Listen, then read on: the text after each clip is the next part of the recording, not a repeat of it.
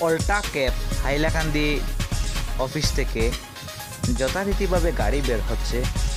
আমি জেম টিউশনের মাধ্যমে আপনাদের সম্মুখে উপস্থাপন করতে চলেছি। তো সর্বশেষ আমার সঙ্গে থাকুন